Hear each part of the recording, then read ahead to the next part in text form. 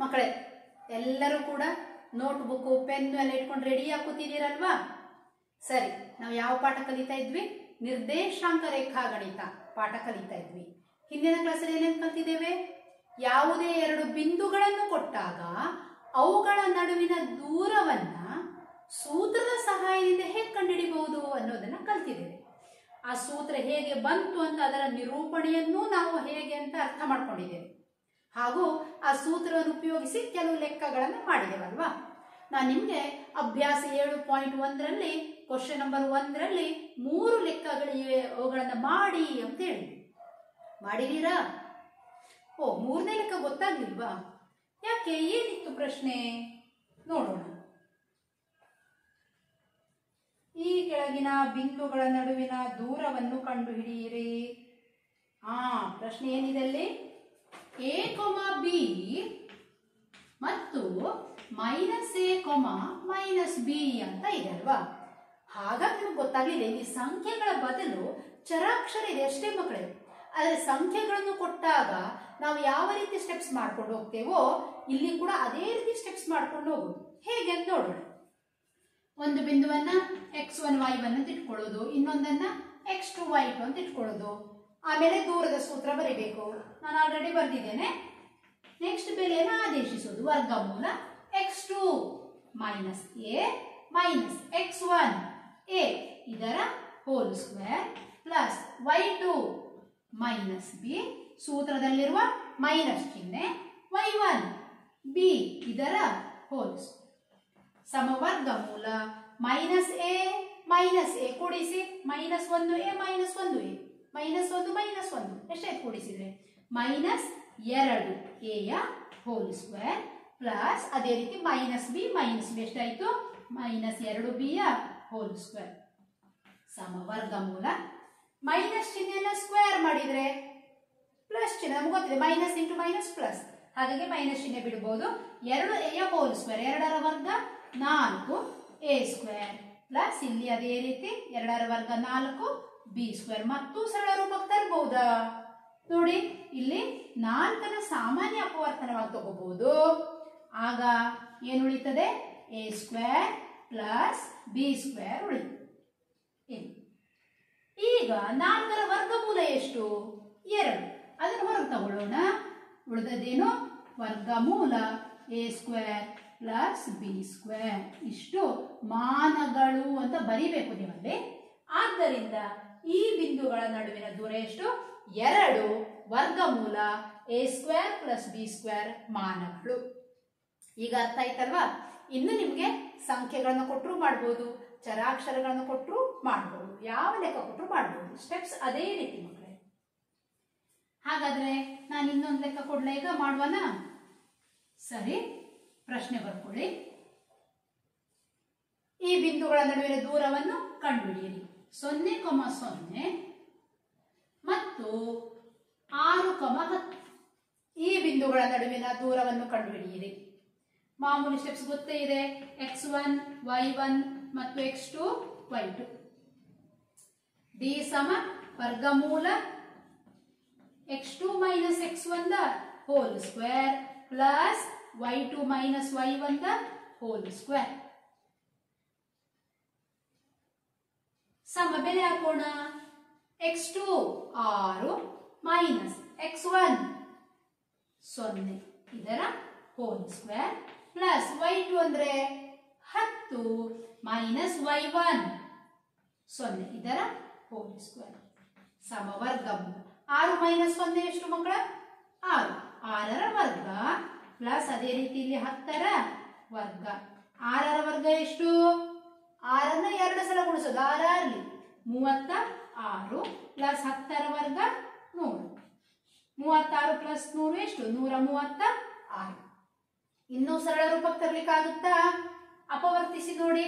ನೂರ ಮೂವತ್ತಾರನ್ನ ಅಪವರ್ತಿಸೋಣ. ಎರಡು ಆರ್ಲಿ ಹನ್ನೆರಡು ಒಂದು ಉಳಿತು ಎರಡು ಎಂಟ್ಲೆ ಹದಿನಾರು. ಪುನಃ ಎರಡರಿಂದ ಹೋಗ್ತದೆ. ಎರಡು ಮೂರ್ಲಿ ಆರು, ಎರಡು ನಾಲ್ಕಲಿ ಎಂಟು. ಒಬ್ಬ ಸಮ ಸಂಖ್ಯೆ ಇದೆ ಎರಡರಿಂದ ಹೋಗುತ್ತೆ. ಎರಡು ಹದಿನೇಳು, ಮೂವತ್ನಾಲ್ಕು, ಹದಿನೇಳು ಒಂದ್ಲಿ ಹದಿನೇಳು. ಮುಂದೆ ಹೇಗೆ ಗುಂಪು ಮಾಡಬೇಕು? ಸಮ ಅಪವರ್ತನಗಳ ಜೊತೆ, ಜೋಡಿಯನ್ನ ಒಟ್ಟೊಟ್ಟಿಗೆ ಗುಂಪು ಮಾಡಬೇಕು. ಇಲ್ಲಿ ಬೇರೆ ಬೇರೆ ಅಪವರ್ತನ, ಸಮ ಅಪವರ್ತನ ಅಲ್ಲ ಅದು. ಹಾಗಾಗಿ ಇದನ್ನ ಹೇಗೆ ಬರಿಬಹುದು? ವರ್ಗಮೂಲ ಗುಂಪು ಮಾಡಿದ್ದರೆ ಬೇರೆ, ಗುಂಪು ಮಾಡದೇ ಇರೋದು ಬೇರೆ, ಗುಣಿಸಿ ಬರೀಬೇಕು. ಎರಡೆರಡಲಿ ನಾಲ್ಕು, ಗುಣಿಸು ಹದಿನೇಳು ಎರಡಲಿ ಮೂವತ್ತ ನಾಲ್ಕು. ನಾವೇನ್ ಮಾಡಿದ್ದೇವೆ ನೋಡಿ, ಈ ನೂರ ಮೂವತ್ತಾರನ್ನ ಪೂರ್ಣ ವರ್ಗ ಸಂಖ್ಯೆಯ ಗುಣಕವಾಗಿ ಬರ್ಕೊಂಡಿದ್ದೇವೆ. ನಾಲ್ಕು ಅನ್ನೋದು ಪೂರ್ಣ ವರ್ಗ ಸಂಖ್ಯೆ. ಅದರ ವರ್ಗಮೂಲ ಅಲ್ವಾ? ಅದನ್ನು ಹೊರಗೆ ಬರೆಯೋಣ. ಸಮ ಎರಡು ವರ್ಗಮೂಲ ಮೂವತ್ತ ನಾಲ್ಕು ಮಾನಗಳು. ಹಾಗಾದ್ರೆ ಸೊನ್ನೆ ಕೊಮ ಸೊನ್ನೆ ಮತ್ತು ಆರು ಕೊಮ ಹತ್ತು. ಇವುಗಳ ನಡುವಿನ ದೂರ ಎಷ್ಟು? ಎರಡು ವರ್ಗಮೂಲ ಮೂವತ್ತ ನಾಲ್ಕು ಮಾನಗಳು ಅದೇ ರೀತಿ ಇನ್ನೊಂದು ಲೆಕ್ಕ ಮಾಡುವ ಮಕ್ಕಳ?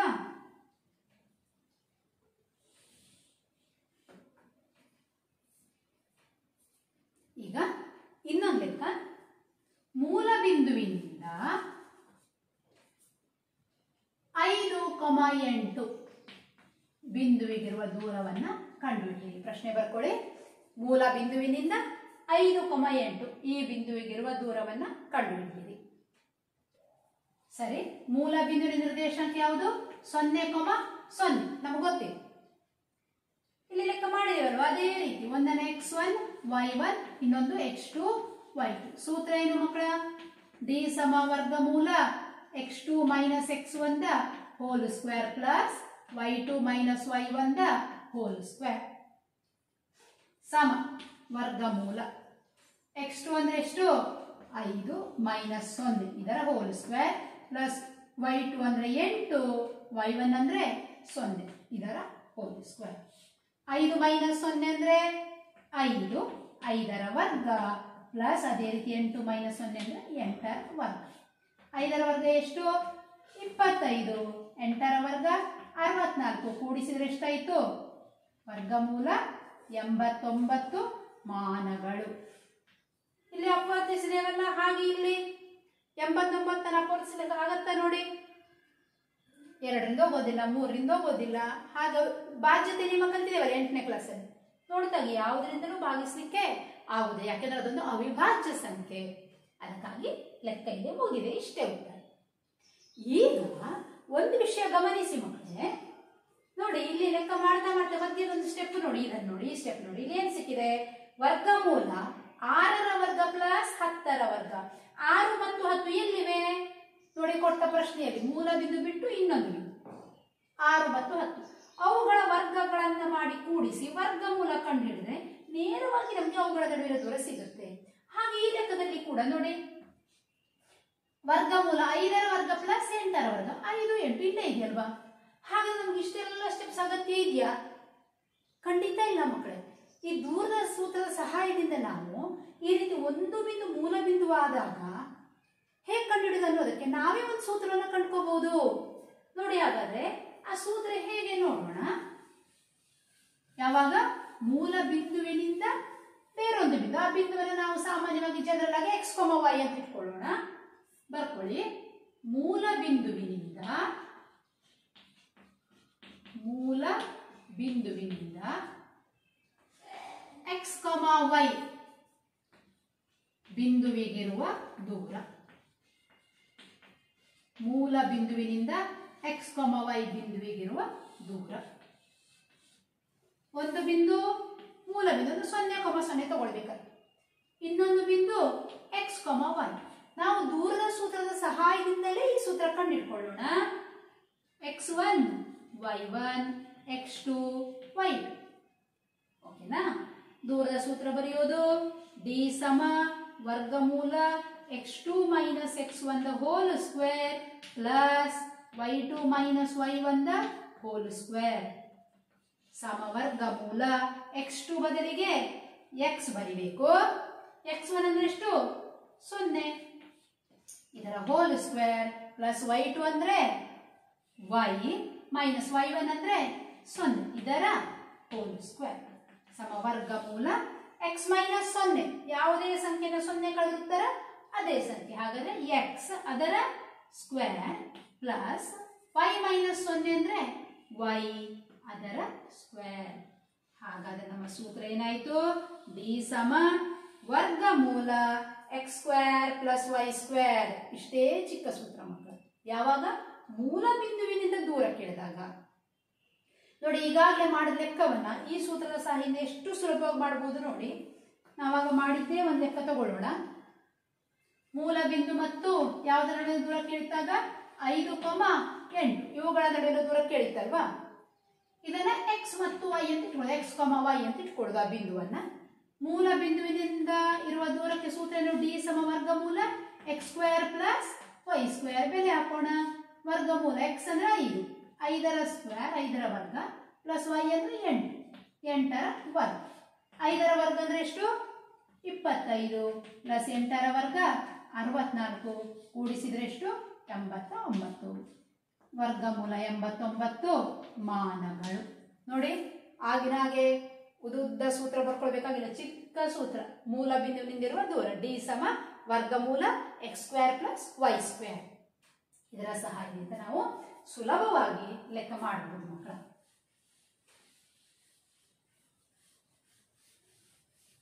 ಇನ್ನು ಕೆಲವೊಮ್ಮೆ ಏನ್ ಮಾಡ್ತಾರೆ ಅಂತಂದ್ರೆ ಮಕ್ಕಳೇ ಎರಡು ಬಿಂದುಗಳ ನಡುವಿನ ದೂರವನ್ನ ಕೊಟ್ಬಿಡ್ತಾರೆ. ಅವುಗಳಲ್ಲಿ ಯಾವುದೋ ಒಂದು ನಿರ್ದೇಶಾಂಕವನ್ನು ಕೊಟ್ಟಿರೋದಿಲ್ಲ ಒಂದು ಎಕ್ಸ್ ಅಥವಾ ಯಾವುದೋ ಒಂದು ಕೊಟ್ಟಿರೋದಿಲ್ಲ ಅದನ್ನ ಕಂಡುಹಿಡಿಯಿರಿ ಅಂತ ಕೇಳ್ತಾರೆ. ಆ ರೀತಿಯ ಪ್ರಶ್ನೆ ಕೊಟ್ಟರೆ ಹೇಗೆ ಮಾಡೋದು? ಒಂದು ಉದಾಹರಣೆ ತಗೊಳ್ಳುವ ಪ್ರಶ್ನೆ ಬರ್ಕೊಳ್ಳಿ. ಪ್ರಶ್ನೆ ಬರ್ಕೊಳ್ಳಿ.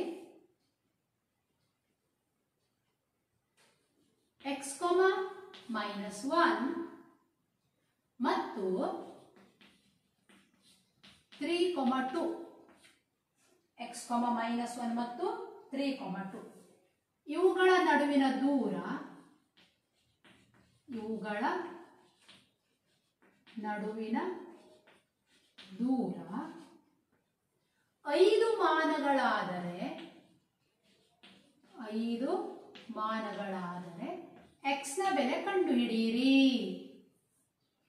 ಎಕ್ಸ್ನ ಬೆಲೆ ಕಂಡುಹಿಡಿಯಿರಿ. ಹೇಗೆ ಮಾಡೋದು ಇದನ್ನ?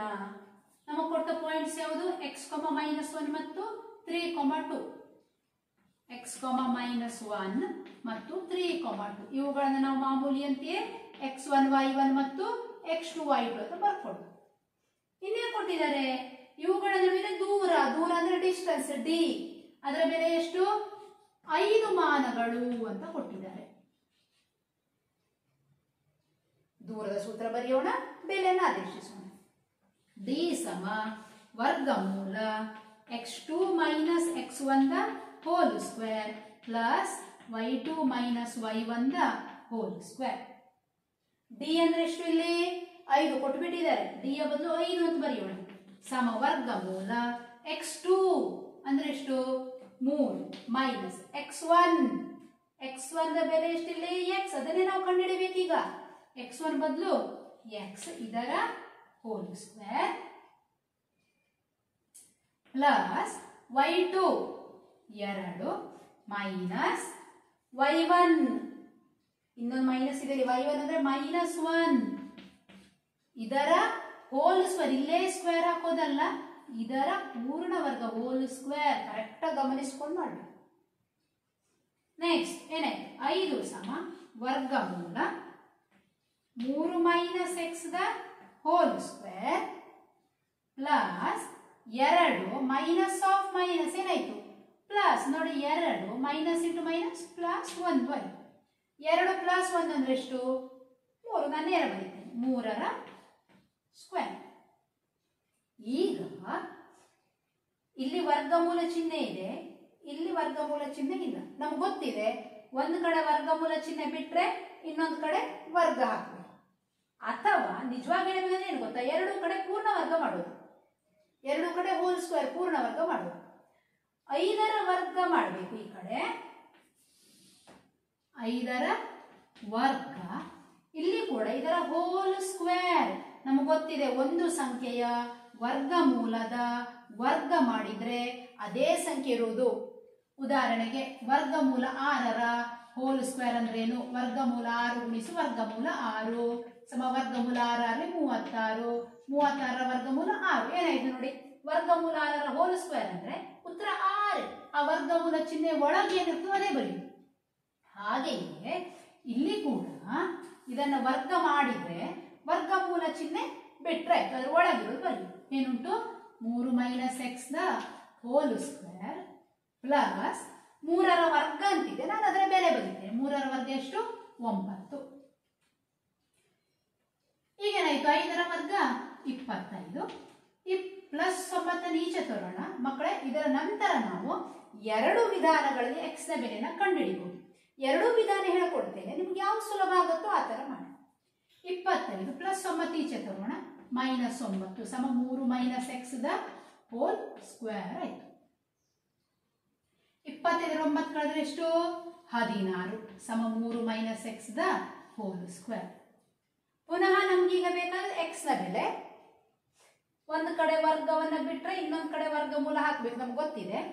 ಮೂರು ಮೈನಸ್ ಎಕ್ಸ್ನ ಹೋಲ್ ಸ್ಕ್ವೇರ್ ಪೂರ್ಣ ವರ್ಗ ಸಮ ಹದಿನಾರು. ಆದ್ದರಿಂದ ಮೂರು ಮೈನಸ್ ಎಕ್ಸ್ ಸಮ ಇಲ್ಲಿ ವರ್ಗ ಬಿಟ್ಟಿದ್ದೇನೆ. ಇಲ್ಲಿ ವರ್ಗಮೂಲ ಹಾಕಬೇಕು. ವರ್ಗಮೂಲಕ್ಕೆ ಪ್ಲಸ್ ಆರ್ ಮೈನಸ್ ಎರಡೂ ಚಿಹ್ನೆ ಇದೆ, ನಮ್ಗೆ ಗೊತ್ತಿದೆ. ಇಪ್ಪತ್ತೈದರ ವರ್ಗಮೂಲ ಪ್ಲಸ್ ಐದು ಕೂಡ ಹೌದು ಮೈನಸ್ ಐದು ಕೂಡ ಹೌದು. ಕೆಲವು ಸಂದರ್ಭದಲ್ಲಿ ನಾವು ಕೇವಲ ಪ್ಲಸ್ ಮಾತ್ರ ಉಪಯೋಗಿಸ್ಕೊಳ್ತೇವೆ. ಇಲ್ಲಿ ಪ್ಲಸ್ ಮೈನಸ್ ಎರಡೂ ಬೇಕಾಗುತ್ತೆ ನಮಗೆ. ಮೂರು ಮೈನಸ್ ಎಕ್ಸ್ ಸಮ ಪ್ಲಸ್ ಆರ್ ಮೈನಸ್ ವರ್ಗಮೂಲ ಹದಿನಾರು. ನಾನೀಗ ಎಕ್ಸ್ನ ಬೆಲೆ ಬೇಕು ನನಗೀಗ. ಅದಕ್ಕಾಗಿ ಏನ್ ಮಾಡ್ತೇನೆ ನೋಡಿ, ಇದನ್ನ ಆಚೆ ಈಚೆ ಮಾಡಿ ಬರ್ಕೊಳ್ಳೋ ಒಂದ್ಸಲ. ಅಥವಾ ಇದನ್ನ ಹದಿನಾರರ ವರ್ಗಮೂಲ ಎಷ್ಟು? ನಾಲ್ಕು, ನಮ್ಗೆ ಗೊತ್ತಿದೆ. ಪ್ಲಸ್ ಆರ್ ಮೈನಸ್ ಹದಿನಾರರ ವರ್ಗಮೂಲ, ನಾಲ್ಕು ಸಮ ಮೂರು ಮೈನಸ್ ಎಕ್ಸ್ ಅಥವಾ ಆಚೀಚೆ ಮಾಡಿ ಬರ್ಕೊಳ್ತೇನೆ ನೋಡಿ, ಈಗ ಮೂರು ಮೈನಸ್ ಎಕ್ಸ್ ಸಮ ಪ್ಲಸ್ ಆರ್ ಮೈನಸ್ ನಾಲ್ಕು. ನಮಗೆ ಎಕ್ಸ್ ಬೇಕು. ಮೂರನ್ನ ಆಚೆ ಕೊಂಡು ಹೋಗೋಣ ಇಲ್ಲೇನು ಉಳಿತು ಮೈನಸ್ ಎಕ್ಸ್ ಸಮ ಪ್ಲಸ್ ಆರ್ ಮೈನಸ್ ನಾಲ್ಕು ಪ್ಲಸ್ ಮೂರು ಆಚೆ ಹೋದ್ರೆ ಮೈನಸ್ ಮೂರು. ನೋಡಿ ಮೈನಸ್ ಎಕ್ಸ್ ಹಾಗೆ ಇಟ್ಟಿದ್ದೇನೆ. ಪ್ಲಸ್ ಆರ್ ಮೈನಸ್ ನಾಲ್ಕು ಹಾಗೆ ಇದೆ. ಈ ಪ್ಲಸ್ ಮೂರು ಸಮಚಿಹ್ನೆ ಆ ಕಡೆ ಹೋಗಿದ್ದೇನಾಯ್ತು ಮೈನಸ್ ಮೂರು ಆಯ್ತು. ಈಗ ಪ್ಲಸ್ ಮತ್ತು ಮೈನಸ್ನ ಪ್ರತ್ಯೇಕವಾಗಿ ತಗೊಳ್ಳೋಣ. ಮಕ್ಕಳ, ಇಲ್ಲಿ ಬೋರ್ಡ್ ಚಿಕ್ಕದಾದ ಕಾರಣ ಜಾಗ ಸಾಕಾಗೋದಿಲ್ಲ. ಹಾಗಾಗಿ ಒಂದ್ಸಲ ಇಲ್ಲಿ ಒರೆಸ್ತೇನೆ ಪ್ರಶ್ನೆಯನ್ನ. ಏನಾಯ್ತಾಗ? ಮೈನಸ್ ಎಕ್ಸ್ ಸಮ ಪ್ಲಸ್ ನಾಲ್ಕು ಮೈನಸ್ ಮೂರು ಪ್ಲಸ್ ಮತ್ತು ಮೈನಸ್ ಬೇರೆ ಬೇರೆ ತಗೊಳ್ಳ. ಅಥವಾ ಮೈನಸ್ ಎಕ್ಸ್ ಸಮ ಮೈನಸ್ ನಾಲ್ಕು ಮೈನಸ್ ಮೂರು ಅರ್ಥ ಆಯ್ತಾ ನೋಡಿ? ಮೈನಸ್ ಎಕ್ಸ್ ಸಮ ಪ್ಲಸ್ ನಾಲ್ಕು ಮೈನಸ್ ಮೂರು ಅಥವಾ ಮೈನಸ್ ಎಕ್ಸ್ ಸಮ ಮೈನಸ್ ನಾಲ್ಕು ಮೈನಸ್ ಮೂರು.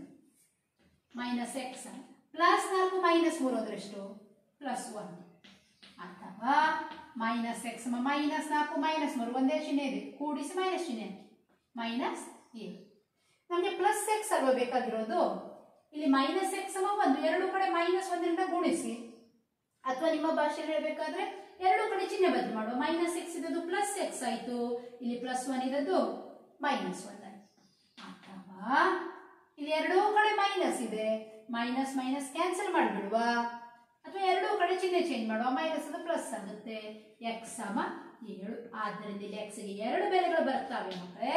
ಎಕ್ಸ್ ಸಮ ಮೈನಸ್ ಒಂದು ಅಥವಾ ಎಕ್ಸ್ ಸಮ ಏಳು. ನಾನು ಇನ್ನೊಂದು ವಿಧಾನ ಅಂತ ಹೇಳಿದ್ದೇನಲ್ವಾ?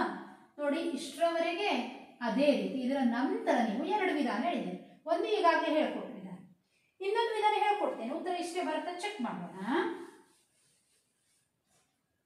ಇದು ಮೆಥಡ್ ಅನ್ನ ಒರೆಸ್ತೇನೆ ಒಂದ್ಸಲ, ಇಲ್ಲಿಂದ ಕಂಟಿನ್ಯೂ ಮಾಡೋಣ. ನಮ್ಮ ಉತ್ತರ ಇಷ್ಟೇ ಬರುತ್ತೆ, ನೋಡೋಣ.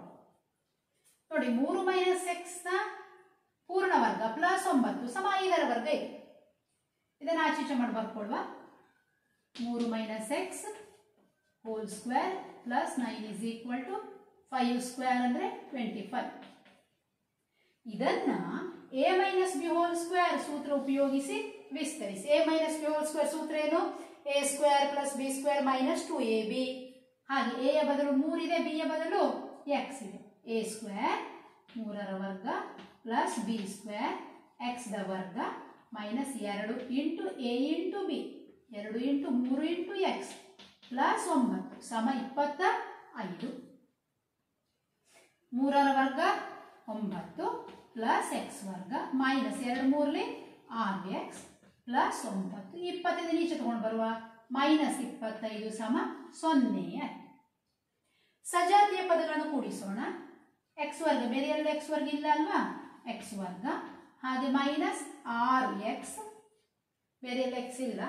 ಒಂಬತ್ತು ಪ್ಲಸ್ ಒಂಬತ್ತು, ಹದಿನೆಂಟು. ಹದಿನೆಂಟು ಮೈನಸ್ ಇಪ್ಪತ್ತೈದು. ಇಪ್ಪತ್ತೈದು ಹದಿನೆಂಟು ಕಳೆದ್ರೆ ಏಳು, ದೊಡ್ಡ ಸಂಖ್ಯೆ ಮೈನಸ್ ಚಿಹ್ನೆ. ಮೈನಸ್ ಏಳು ಸಮ ಸೊನ್ನೆ. ಏನು ಸಿಕ್ಕಿತು ನಮಗೆ ಮಕ್ಕಳ? ತ್ರಿಪದೋಕ್ತಿ ಸಿಕ್ಕಿತು ಮುಂದೆ ಕಂಡುಹಿಡಿಬಹುದು ಎಕ್ಸ್ ಅನ್ನ ಎಸ್ ಮಧ್ಯ ಪದಗಳು ಅಪವರ್ತಿಸುವ ಮೂಲಕ. ಏಳನ್ನು ಅಪವರ್ತಿಸಿದ್ರೆ ಏಳು ಒಂದ್ಲಿ ಏಳು. ಅವಿಭಾಜ್ಯ ಸಂಖ್ಯೆ. ಬೇರೆ ರೀತಿ ಅಪವರ್ತಿಸಲಿಕ್ಕೆ ಸಾಧ್ಯ ಇಲ್ಲ. ಕಳೆದಾಗ ಆರು ಬರಬೇಕು. ನೋಡಿ, ಏಳು ಒಂದ್ಲಿ ಏಳು. ಏಳು ಇಂಟು ಒಂದು ಬರೀಬೇಕು. ಕಳೆದಾಗ ಆರು ಬರಬೇಕು. ಏಳರ ಒಂದು ಕಳೆದ್ರೆ ಆರು. ಮತ್ತೆ ಯಾವ ಚಿಹ್ನೆ ಇದೆ? ಮೈನಸ್ ಚಿಹ್ನೆ ಇದೆ. ಹಾಗಾಗಿ ದೊಡ್ಡ ಸಂಖ್ಯೆಗೆ ಮೈನಸ್, ಚಿಕ್ಕ ಸಂಖ್ಯೆಗೆ ಪ್ಲಸ್ ಮೈನಸ್ ಏಳು ಎಕ್ಸ್ ಮತ್ತು ಪ್ಲಸ್ ಒಂದು ಎಕ್ಸ್ ಹಾಗಾದ್ರೆ ಎಕ್ಸ್ ವರ್ಗ ಪ್ಲಸ್ ಒಂದು ಎಕ್ಸ್ ಒಂದು ಎಕ್ಸ್ ಅಂದ್ರೆ ಒಂದೇ, ಬರೀ ಎಕ್ಸ್ ಅಂದ್ರೆ ಒಂದೇ. ಮೈನಸ್ ಏಳು ಎಕ್ಸ್ ಮೈನಸ್ ಏಳು ಸಮ ಸೊನ್ನೆ. ಸಾಮಾನ್ಯ ತಗೊಳ್ಳೋಣ. ಇಲ್ಲಿ ಎಕ್ಸ್ ಸಾಮಾನ್ಯ ಎಕ್ಸ್ ಪ್ಲಸ್ ಒಂದು ಇಲ್ಲಿ ಮೈನಸ್ ಏಳು ಸಾಮಾನ್ಯ. ಎಕ್ಸ್ ಮೈನಸ್ ಚಿಹ್ನೆ ಹೊರಗೆ ತಗೊಂಡಿರುವ ಕಾರಣ ಚಿಹ್ನೆ ಬದಲಾಗ್ತದೆ. ಮೈನಸ್ ಇದು ಪ್ಲಸ್ ಆಗ್ತದೆ. ಒನ್ ಸಮ ಸೊನ್ನೆ ಪುನಃ ಇಲ್ಲಿ ಸಾಮಾನ್ಯ ಯಾವುದು ಇದೆಲ್ಲ ನಾವು ಎಂಟನೇ ಕ್ಲಾಸಿಂದ ಕಲ್ತ್ಕೊಂಡು ಬಂದಿದ್ದೇವೆ ಮಕ್ಕಳು. ಪುನಃ ಸಾಮಾನ್ಯ ಎಕ್ಸ್ ಪ್ಲಸ್ ಒಂದು. ಇಲ್ಲಿ ಏನುಳಿತು ಎಕ್ಸ್ ಇಲ್ಲಿ ಮೈನಸ್ ಏಳು. ಸಮ ಸೊನ್ನೆ ಎರಡು ಸಂಖ್ಯೆಗಳ ಗುಣಲಬ್ಧ ಯಾವಾಗ ಸೊನ್ನೆ ಆಗ್ತದೆ? ಅವೆರಡರಲ್ಲಿ ಯಾವುದಾದ್ರೂ ಒಂದು ಸಂಖ್ಯೆ ಸೊನ್ನೆ ಆಗಿರಲೇಬೇಕು. ಆದ್ದರಿಂದ ಎಕ್ಸ್ ಪ್ಲಸ್ ಒಂದು ಸಮ ಸೊನ್ನೆ ಅಥವಾ ಎಕ್ಸ್ ಮೈನಸ್ ಏಳು ಸಮ ಸೊನ್ನೆ. ನಮಗೆ ಬೇಕಾಗಿರೋ ಎಕ್ಸ್ ಬೆಲೆ ಪ್ಲಸ್ ಒಂದು ಆಚೆ ಕೊಂಡೋಗಿ ಮೈನಸ್ ಒಂದು ಅಥವಾ ಎಕ್ಸ್ ಮೈನಸ್ ಎರಡು ಆಚೆ ಕೊಂಡೋಗಿ? ಪ್ಲಸ್ ಏಳು ನೋಡಿ, ಇಲ್ಲೂ ಉತ್ತರ ಅಷ್ಟೇ ಬಂದಿತ್ತು. ಹಿಂದಿನ ಮೆಥಡಲ್ಲೂ ಅಷ್ಟೇ ಇತ್ತು, ಈ ಮೆಥಡಲ್ಲೂ ಅಷ್ಟೇ ನೀವು ಯಾವ ಮೆಥಡ್ ನಿಮ್ಗೆ ಈಸಿ ಆಗುತ್ತೋ ಅದನ್ನು ಫಾಲೋ ಅಪ್ ಮಾಡಿ. ಪರೀಕ್ಷೆಯಲ್ಲಿ ಎರಡೂ ಮೆಥಡ್ ಮಾಡೋದು ಬೇಡ. ನಿಮಗೆ ಯಾವ್ದು ಸುಲಭವೋ ಅಂತ ಒಂದು ಮೆಥಡಲ್ಲಿ ಮಾಡಿದರೆ ಸಾಕು ಮಕ್ಕಳ. ಹಾಗಾದ್ರೆ ನಾವು ಇವತ್ತಿನ ಕ್ಲಾಸಲ್ಲಿ ಏನೇನು ಕಲ್ತಿದ್ದೇವೆ? ಮೂಲ ಬಿಂದುವಿನಿಂದ ಯಾವುದೇ ಬಿಂದುವಿಗಿರುವ ದೂರ ಕಂಡುಹಿಡಿಯೋದಾದ್ರೆ ಸುಲಭವಾಗಿ ಡಿ ಸಮ ವರ್ಗಮೂಲ x square plus y square ಸೂತ್ರವನ್ನು ಬಳಸಬಹುದು ಅಂತ ತಿಳ್ಕೊಂಡಿದ್ದೇವೆ. ಮತ್ತು ಎರಡು ಬಿಂದುಗಳ ನಡುವಿನ ದೂರವನ್ನು ಕೊಟ್ಟಾಗ ಯಾವುದೋ ಒಂದು ನಿರ್ದೇಶಾಂಕ ಎಕ್ಸ್ ವೈ ಯಾವುದೋ ಒಂದು ನಿರ್ದೇಶಾಂಕ ಕಂಡುಹಿಡಿಯಲಿಕ್ಕೆ ಕೇಳಿದಾಗ ಅದನ್ನು ಹೇಗೆ ಕಂಡುಹಿಡಿಯೋದು ಅನ್ನೋದನ್ನ ತಿಳ್ಕೊಂಡಿದ್ದೇವೆ ಮಕ್ಕಳೇ. ಯಾವಾಗಲೂ ನಾವು ಒಂದು ಹೊಸ ರೀತಿಯ ಲೆಕ್ಕ ಕಲಿತರೆ ಅದೇ ರೀತಿಯ ಬೇರೆ ಬೇರೆ ಲೆಕ್ಕಗಳನ್ನು ಮಾಡಿ ಪ್ರಾಕ್ಟೀಸ್ ಮಾಡಿದರೆ ಅದು ಹೆಚ್ಚು ಪರ್ಫೆಕ್ಟ್ ಆಗ್ತದೆ. ಹಾಗಾಗಿ ಮಕ್ಕಳ, ಇದಕ್ಕೆ ಸಂಬಂಧಪಟ್ಟಂತೆ ಕೂಡ ಹೋಮ್ವರ್ಕ್ ಮಾಡಬೇಕು ನೀವು. ಟೆಕ್ಸ್ಟ್ ಬುಕ್ಕಲ್ಲಿ ಅಭ್ಯಾಸ ಏಳು ಪಾಯಿಂಟ್ ಒಂದರಲ್ಲಿ ಎರಡನೇ ಲೆಕ್ಕ ಮಾಡಬಹುದು ನೋಡಿ, ಮೂಲ ಬಿಂದು ಸೊನ್ನೆ ಕೊಮ ಸೊನ್ನೆ ಮತ್ತು ಮೂವತ್ತಾರು ಕೊಮ ಹದಿನೈದು, ಇವುಗಳ ನಡುವಿನ ದೂರ ಕಂಡುಹಿಡಿಯಿರಿ ಅಂತ ಹೇಳಿದ್ದಾರೆ. ಅದನ್ನು ಮಾಡಬಹುದು ಹಾಗೇನೆ ಎಂಟನೇ ಲೆಕ್ಕ ಮಾಡಿ ಮಕ್ಕಳೇ. ಪಿ ಎರಡು ಕಮ ಮೈನಸ್ ಮೂರು ಮತ್ತು ಕ್ಯೂ ಹತ್ತು ಕಮ ವೈ ಈ ಬಿಂದುಗಳ ನಡುವಿನ ದೂರ ಹತ್ತು ಮಾನಗಳಾದರೆ ವೈದ ಬೆಲೆಯನ್ನು ಕಂಡುಹಿಡಿಯಿರಿ ಅಂತ ಒಂದು ಪ್ರಶ್ನೆ ಮಾಡಿ. ಅದರ ಜೊತೆ ಹೋಮ್ವರ್ಕ್ಗೆ ನಾನು ಇನ್ನೊಂದು ಪ್ರಶ್ನೆ ಕೊಡ್ತೇನೆ, ಇನ್ನೊಂದು ಲೆಕ್ಕ ಕೊಡ್ತೇನೆ. ಬರ್ಕೊಳ್ಳಿ.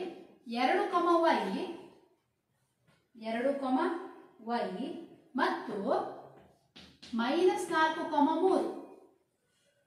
ಇವುಗಳ ನಡುವಿನ ದೂರ ಹತ್ತು ಮಾನಗಳಾದರೆ, ಇವುಗಳ ನಡುವಿನ ದೂರ ಹತ್ತು ಮಾನಗಳಾದರೆ, ವೈದ ಬೆಲೆ ಕಂಡುಹಿಡಿಯಿರಿ. ಇದನ್ನ ಹೋಮ್ವರ್ಕ್ ಅಲ್ಲಿ ಮಾಡಬೇಕು ಮಕ್ಕಳೇ. ಎಲ್ಲ ಲೆಕ್ಕಗಳನ್ನ ಚೆನ್ನಾಗಿ ಪ್ರಾಕ್ಟೀಸ್ ಮಾಡಿ. ಮುಂದಿನ ಕ್ಲಾಸಲ್ಲಿ ನಾವು ಇನ್ನು ಬೇರೆ ಬೇರೆ ರೀತಿಯ ತುಂಬ ತುಂಬಾ ಇಂಟ್ರೆಸ್ಟಿಂಗ್ ಆಗಿರುವಂತಹ ಲೆಕ್ಕಗಳನ್ನೆಲ್ಲ ಕಲಿಯೋಣ. ಅಷ್ಟರಲ್ಲಿ ಇದನ್ನು ಚೆನ್ನಾಗಿ ಪ್ರಾಕ್ಟೀಸ್ ಮಾಡ್ಕೊಳ್ಳಿ ಮಕ್ಕಳೇ. ಎಲ್ಲರಿಗೂ ಧನ್ಯವಾದಗಳು.